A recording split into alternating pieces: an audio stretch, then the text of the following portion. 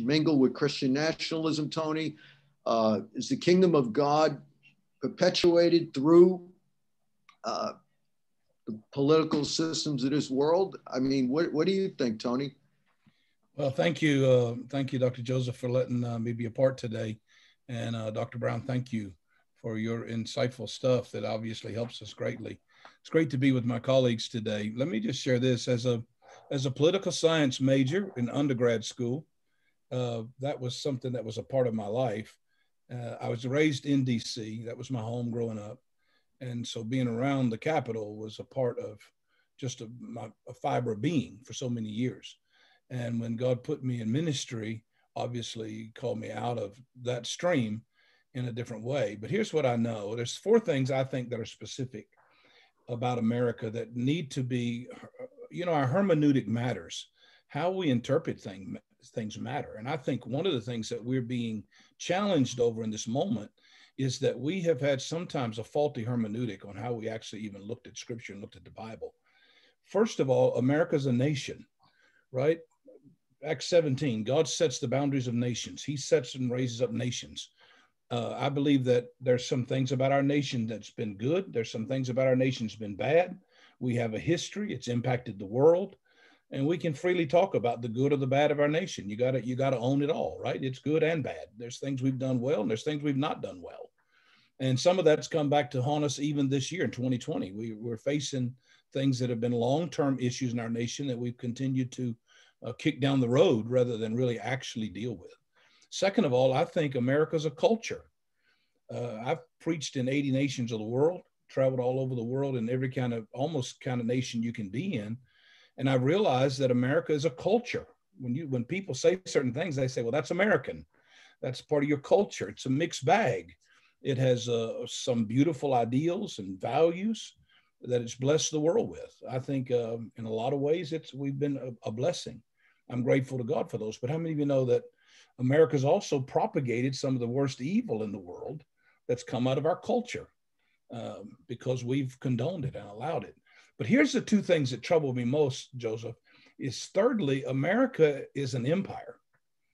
And by being an empire, we're a superpower nation who believes that we have manifest destiny like you were just talking about, that somehow God has uh, use wants to use us, like the Roman Empire, the Byzantine Empire, the British Empire. Now the American Empire is supposed to shape history, and the problem is God opposes empires.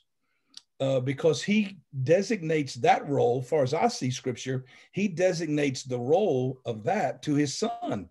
Psalms chapter 2 Ask of me, and I'll give you the nations as an inheritance, that he can shape the history of those things. I don't think that America was born to shape the history of the world. I think we're a part of his story. And fourthly, uh, America or Americanism has become a religion. And when it becomes a religion, it's, it's uh, uh, sacrosanct, it becomes then idolatrous because what happens is we make it uh, our love of country almost equal to our love of God. And so, therefore, we celebrate uh, our national things as if they were kingdom things. I don't think it's wrong to be patriotic. I think it's wrong to put what you are as a nation on the same level of your affection and love for God. I mean, there are people that have even talked about the fact that the Constitution and the Bill of Rights was divinely inspired. So it makes it equal to the Bible. If if if that's true, then we're we're all in trouble, right? John Wesley made this statement in his sermon, The Mystery of Iniquities, that he preached 250 years ago, 200 years ago. John Wesley said this. He said that for the first three centuries, the church never was wounded by persecution it, it survived and grew and thrived, even in the midst of being very heavily persecuted.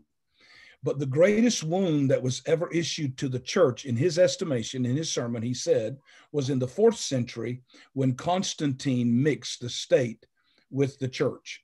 And he gave the church riches, he gave it honor, he gave it power, and he gave it prestige and status. And by giving the church that, it wounded it in such a way. And here's his quote he said, At that moment, the mystery of iniquity was no longer in hiding, it came out full force in front of the whole world like the noonday sun. And I think when you mix state, politics, and religion together, in even in Christianity, I'm going to be very bold. In some ways, what some people are talking about is no different than the Taliban in Afghanistan. They want a they want a religious state that rules everybody according to their value system. We in America want a religious state ruled by our value system. That's not how our God operates. I believe that we have to come back to a place where we recognize that the church was not meant to, to fight for the seats of power. I believe we were meant to be salt and light. We were meant to influence the earth by the value system of the kingdom of God. Christendom, to me, is a false ideology. Christianity is a, a, belief system in Christ and who he is. Christendom is the product of Constantine and the things that came out of that whole era, where we missed, mixed Christianity with all of the politics of, of even then later on into Europe. So, in my estimation, uh, Dr. Matera, uh, the church has been walking a on thin ice, and we finally broke through, and we're we're reaping the the hermeneutic that we've declared over the last 40, 50 years in some ways and uh, we've got to come back to really seeing ourselves, I think, in the eyes of the kingdom through the Word of God.